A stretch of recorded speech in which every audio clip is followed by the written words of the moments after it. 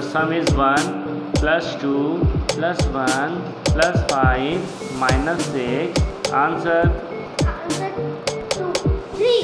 Very good. Next 7 plus 2 minus 5 minus 4 plus 2 plus 2. That is Four. very good.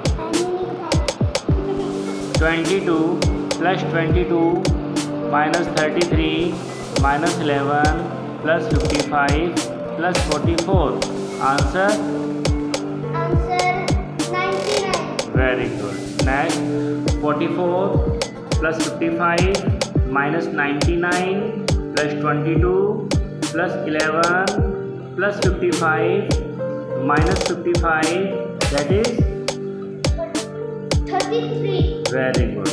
Now next sum 111 plus 555 minus 111 plus 444 minus 555 answer Answer four hundred four.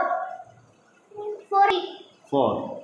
Next sum 21 plus 1 plus 2 minus 4 plus 5 answer Twenty-five. Very good. Next, 1000 plus 2000 plus 5000 minus 8000 plus 9000 minus 4000. Answer? Five thousand. Good.